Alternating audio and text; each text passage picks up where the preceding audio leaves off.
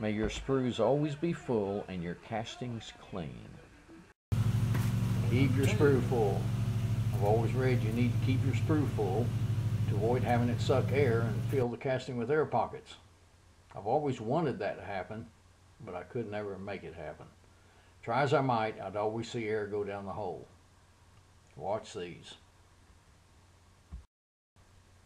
Now if you watch that closely, I got the sprue full and then it sucked air in and then I was able to fill it again and it sucked it in again and then it was filled.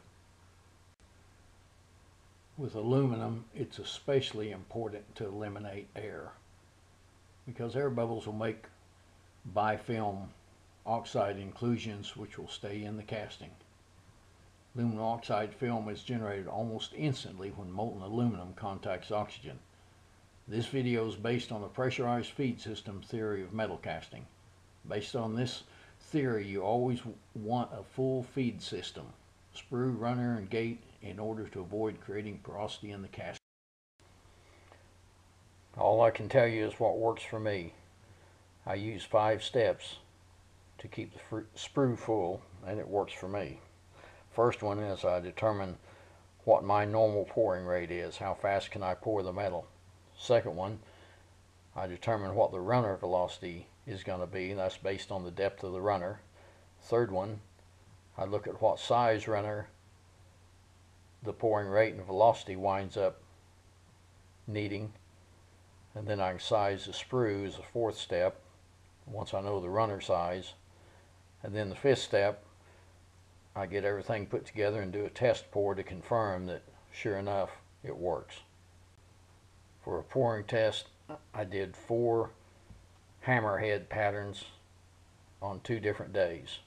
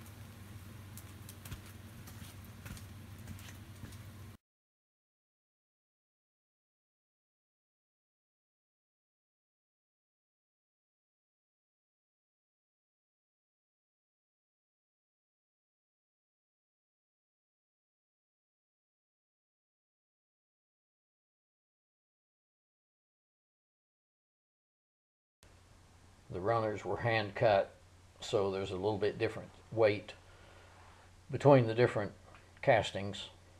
I didn't think I was pouring slower the second day and that's why you need to do some tests to really see how you pour. My pouring rate varied from six and two thirds ounces per second down to 5.1 ounces per second. Now I could probably hustle and push it and perhaps pour at 4 cubic inches per second. That's just calculated based on 1.57 ounces per cubic inch. But to be conservative and with experience of how I am on different days, I'm going to choose 3 cubic inches per second. So I always know I can keep the sprue full. Step 2, runner velocity. You need to know the runner velocity so you can make sure your pour rate keeps up with how fast the runner is taking the metal away.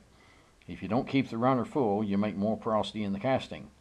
It would seem that the metal velocity in the runner would be affected by the runner size. Not for small castings like I pour. and with my runners are never over 8 inches long and usually a lot shorter. Several of the glass flask videos demonstrate that runner size just does not affect velocity. What does affect velocity is the sprue. The velocity is determined by how far the metal must fall from the top of the pouring basin to the runner. So to determine the runner velocity, you have to know how tall your sprue will be. Since a lot of flasks are made from dimensional lumber, I'm going to choose three and a half inches. This assumes the runner is at the top of the drag and the sprue is all in the cope without a cush cup above. Here's the mathematics. The velocity in inches per second equals the square root of 772 times the depth that a body falls in inches. So I've calculated those out and you can see where three quarters of an inch is 24.1 inches per second, 3 inches is 48, 12 inches is 96.2 inches per second. Now here's the same chart but divided in every quarter of an inch and I only went to 5 inches. And you can see that our 3.5 inch target depth is 52 inches per second. And I added miles per hour off to the right so you can see the 52 mile 52 inches per second is right at 3 miles an hour.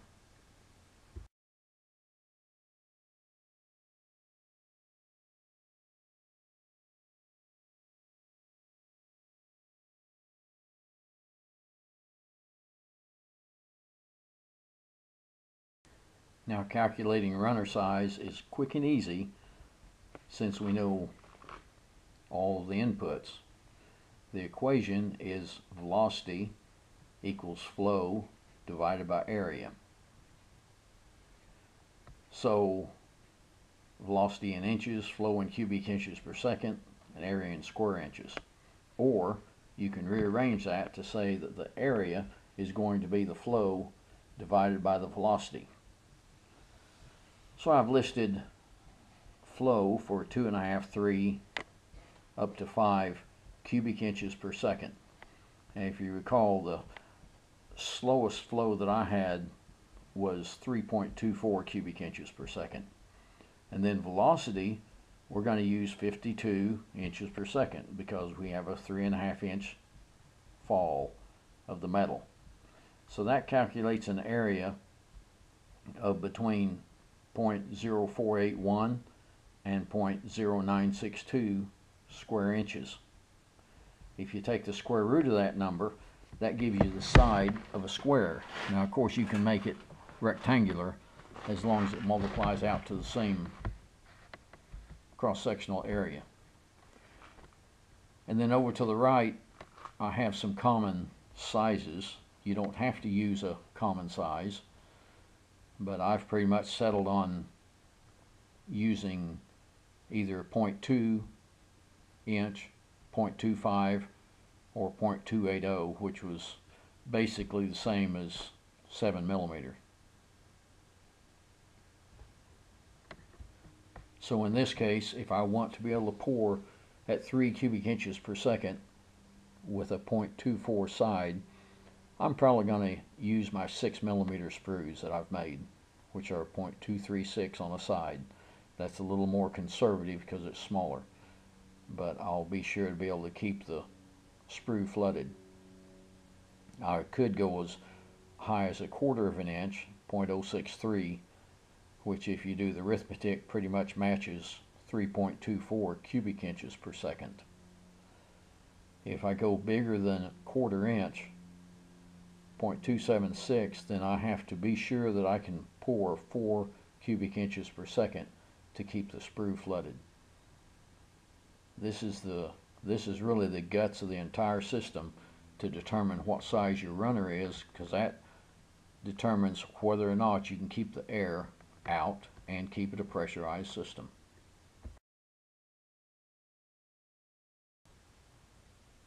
Gentlemen, size your sprues or ladies.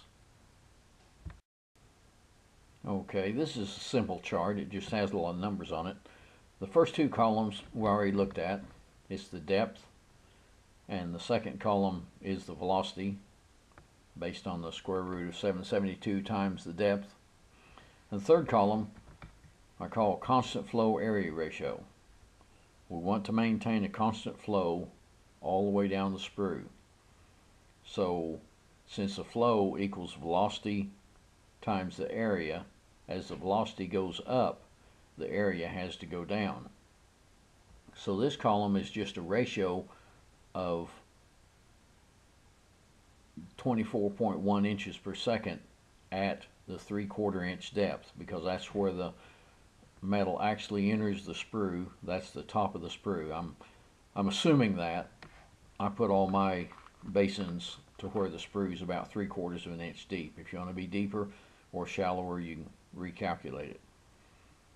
So if you go down uh, 24 inches per second, if you go down to 48 inches per second at 3 inches, you'll see that the area ratio was 0.5. So the size of the sprue needs to be half the number of square inches at 3 inches deep as it was at 3 quarters of an inch deep. So then in order to um, make a sprue, now the, the experts say that short sprues like this can be a straight taper from the top to the bottom. But with straight tapers in the uh, glass flask videos I did, I kept seeing areas where it wanted to neck down, just just below the top of the sprue. Might not be damaging, but so I've made up for different columns of sprue total depth, and let's look at three inches at the three inch depth, we assign that velocity as one, and then we see how big it needs to grow as it gets to the top. And we've already looked at, at three quarters of an inch, it's going to be twice as big as it is at the bottom. So I say at the top, this is area for each depth for one square inch at the bottom. So that's really just a percentage.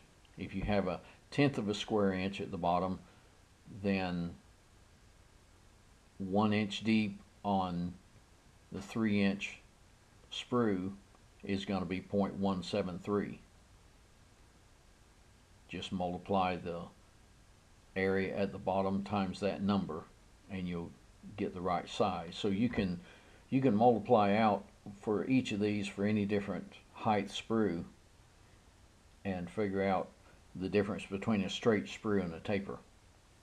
I like to make the the um, curved taper because it fits good. Uh, that's all there is to it. And you can interpolate between, if you've got a three and a quarter inch deep sprue, you can interpolate between it.